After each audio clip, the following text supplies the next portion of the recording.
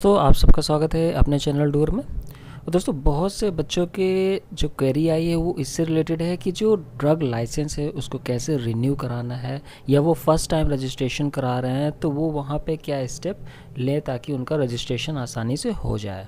तो दोस्तों, यहाँ पे मैं कर्नाटका स्टेट के लिए बता रहा हूँ, और एक तरह से जो जॉइंट स्टेट्स के लिए मैं पहले वीडियो ला चुका हूँ, लेकिन जिस स्टेट के भी कैंडिडेट्स को प्रॉब्लम आएगी तो दोस्तों मैं यहाँ पे वीडियो लाऊँगा उनके लिए। फ़िलहाल दोस्तों, Karnataka state of pharmacy council का मैं यहाँ पे वीडियो ला रहा हूँ और आपको बता रहा हूँ कि इस पर आपको क्या करना है। सिंपली दोस्तों, अभी यहाँ पे ऑफलाइन नहीं लिए जा रहे हैं, जैसे कि आप पढ़ सकते हो।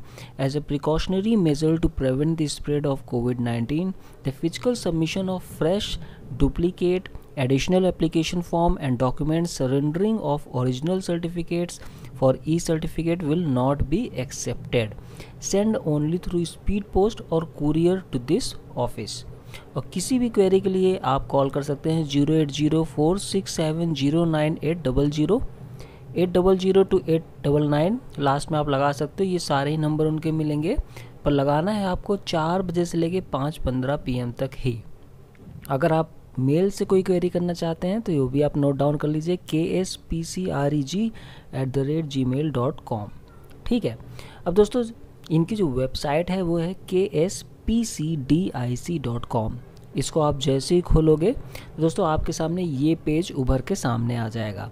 अब आपको यहाँ पे दोस्तों, कुछ नहीं करना है सिंपली अगर आपको यहाँ पे रजिस्ट्रेशन करना है तो यहाँ पे आप फार्मासिस्ट रजिस्ट्रेशन पे जाएँगे। अगर आपको रिन्यूअल करना है मींस जो आपका एक्सपायर हो गया है, वहाँ पर रिन्यूअल करना है तो आप ऑनलाइन रिन्यूअल पर क्लिक करके इसको भर सकते हैं। अगर आपके नेम की स्पेलिंग में कोई प्रॉब्लम है तो आप नेम चेंज पर जाइए। अगर आपको ई सर्टिफिकेट चाहिए, जितने भी डॉक्यूमेंट सबमिट करके। तो दोस्तों ई सर्टिफिकेट यहाँ से अवेलेबल हो जाएगा, डुप्लीकेट सर्टिफिकेट हो जाएगा। फिर दोस्तों आपका ट्रांसफ़र, अगर आप कराना चाहते हो एक स्टेट से दूसरे स्टेट में तो वो भी यहाँ पे अवेलेबल है। ठीक है तो ये सारे ही आपके सामने मोड दिखाई दे रहे हैं, जिसके थ्रू आपको यहाँ पे करना है।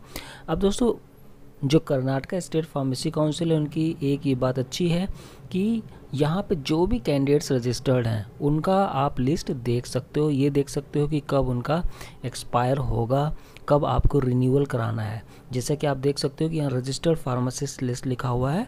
List of pharmacist on the rolls of Karnataka state pharmacy council चलिए इसको क्लिक करके देखते हैं।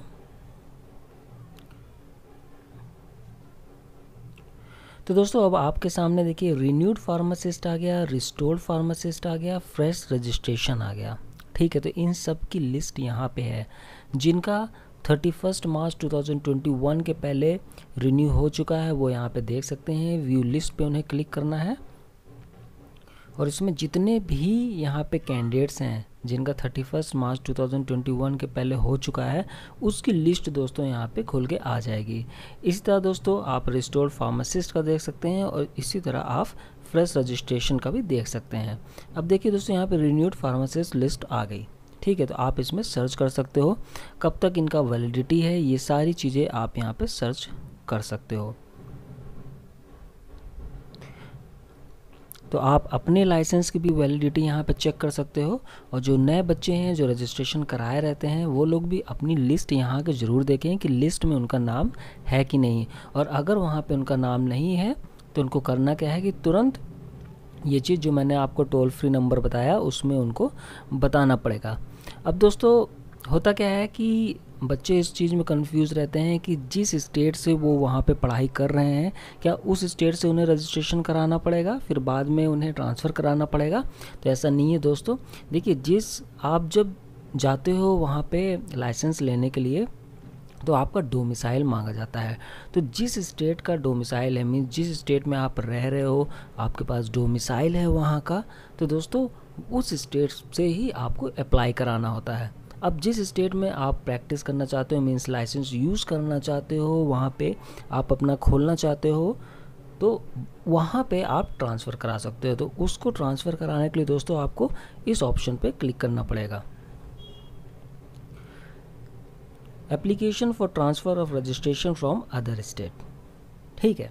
तो दूसरे स्टेट से आप कर्नाटका में आना चाहते हो तो यहाँ पे क्लिक करके ये सारी डिटेल्स आपको भरनी होगी। Step one step two step three step one में दोस्तों, आपका मेनली यहाँ पे डिटेल्स है पर्सनल इन्फॉर्मेशन है और एड्रेस है। एड्रेस बहुत ज़रूरी होता है दोस्तों। एड्रेस कोशिश करिएगा कि वहाँ पे गलत ना हो।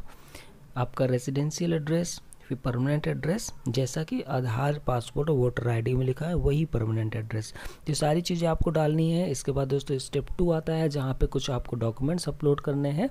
स्टेप थ्री जहाँ पे आपको फ़ीस वगैरह पे करनी है। तो इस तरह करके आप घर बैठे इस चीज़ को कर सकते हो और अब आपको वहाँ पर जाने की ज़रूरत नहीं है। ये चीज़ आप ध्यान रखिएगा कि अभी जाने की ज़रूरत नहीं है सारी चीज़ें ऑनलाइन कर दी गई है। तो एक अच्छा स्टेप है गवर्नमेंट की तरफ़ से। तो आप कोई भी चीज़ इसमें से करा सकते हो। अगर इससे रिलेटेड अगर आपको कहीं पर कोई दिक्कत आ रही कराने के लिए तो इस वीडियो के नीचे आप कमेंट करना, मैं ज़रूर उस चीज़ का रिप्लाई दूँगा और उसका समाधान आपको ज़रूर बताऊँगा। अब यहाँ पे इन्होंने दोस्तों और भी चीज़ें दी हैं, जैसे drug information and research centre तो जो ड्रग इन्फॉर्मेशन रिसर्च सेंटर है दोस्तों, ये काम में आता है आपका, जब आप अपना पीजी या पीएचडी वगैरह करते हैं तो इन सब का काम आता है। तो ये चीज़ें भी आप यहाँ से देख सकते हो कि कहाँ कहाँ पे ये सारे लोकेटेड हैं। ठीक है? क्योंकि आप जब थीसिस वर्क करते हो तो ये सारी चीज़ें आपको नहीं मिल पाती हैं कि कहाँ से हमारा टेस्टिंग हो सकता है, कहाँ से हमें ड्रग अवेल हो सकती हैं। तो ये सारी इन्फॉर्मेशन और रिसर्च सेंटर जो है, वो भी यहाँ पे अवेल है। अब दोस्तों, कोई भी अगर क्वेरी या डाउट है तो ज़रूर मुझसे पूछिएगा। इस वीडियो के नीचे मैं ज़रूर आपकी हेल्प करूँगा। और अगर आप किसी और स्टेट के हैं, और उस स्टेट के बारे में भी जानना है कि कैसे आपको अप्लाई करना है रिन्यूअल कराना है या ट्रांसफ़र कराना है तो वो चीज़ें भी आप मुझसे पूछ सकते हैं। फ़िलहाल के दोस्तों चैनल ज़रूर सब्सक्राइब करिएगा। साथ ही साथ जो हमारा टेलीग्राम है डूअर एकेडमी उसमें भी हमसे ज़रूर ज्वाइन हो जाइएगा। Thank you take care bye